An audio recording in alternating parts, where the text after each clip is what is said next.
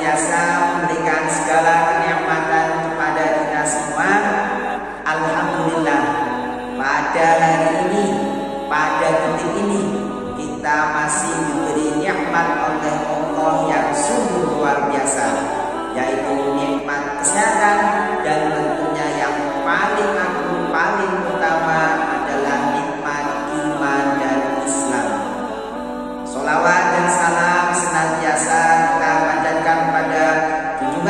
Nabi besar Muhammad Sallallahu Alaihi Wasallam.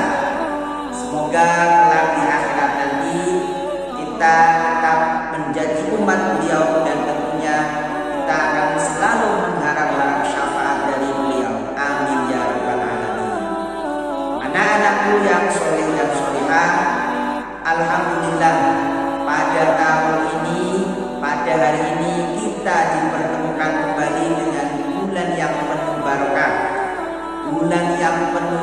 maghfirah, penuh ampunan, bulan suci Ramadan.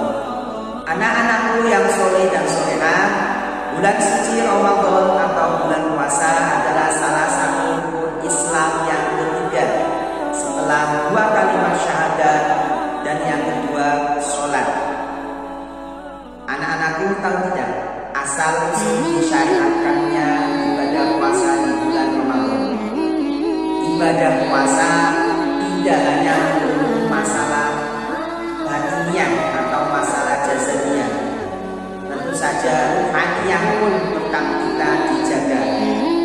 Beberapa peristiwa yang melatar belakangi disyariatkannya ibadah puasa bulan Ramadan adalah peristiwa pada zaman Nabi Musa yaitu tanggal 10 Muharram. Ketika itu Nabi Musa dan pengikutnya dikejar-kejar oleh Fir'aun dengan pertolongan Allah maka Nabi Musa dan pengikutnya diselamatkan oleh Allah Subhanahu wa taala. Tentu saja dengan pertolongan tersebut sebagai wujud rasa syukur Nabi Musa kepada Allah Subhanahu wa taala, beliau melaksanakan puasa pada tanggal 10 Muharram. Inilah yang menjadi salah satu latar belakang dari puasa Ramadan. Nabi Muhammad pun menganjurkan kepada umatnya agar berpuasa pada tanggal 10 Muharram. Puasa pada zaman dulu saja berbeda dengan puasa pada sekarang ini. Kalau zaman dahulu puasa itu mulai dari fajar sampai maghrib, setelah berbuka, sholat isya, kemudian tidur, dilanjut puasa lagi. Kalau sekarang puasa mulai dari terbitnya fajar sampai maghrib, pada malam harinya kita setelah berbuka, kemudian kita makan,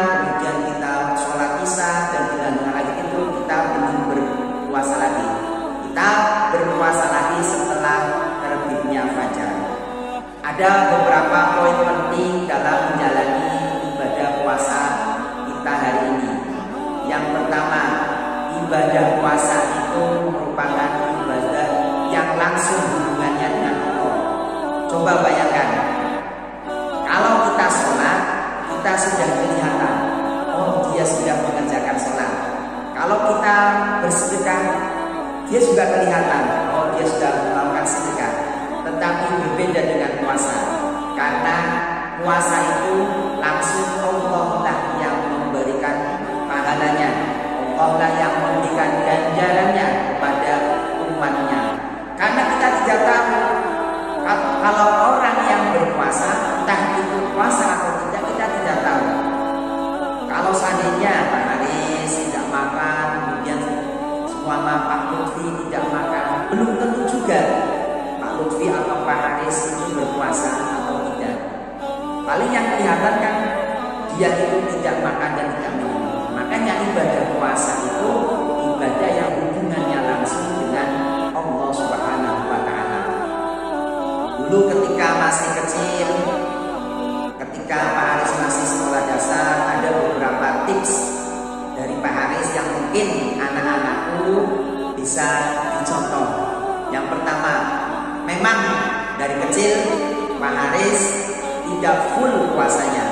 Akan tetapi orang tua selalu mengajarkan untuk berpuasa secara bertahap. Yang pertama ketika satu hari selama Pak Haris bisa berpuasa sampai jam 11 tidak masalah karena ini sedang pembelajaran. Hari pertama hari kedua puasa sampai jam 11 dinaikkan lagi. Naikkan levelnya. Sampai jam 1 siang. Jam 1 siang sampai beberapa hari. Yang dinaikkan lagi levelnya. Puasa dari terbit pacar sampai jam 3 nah, sejak jam 3 sudah mendekati sholat asar sudah mendekati maghrib baru seterusnya kita akan terbiasa puasa dari terbit pacar sampai maghrib. Karena pada dasarnya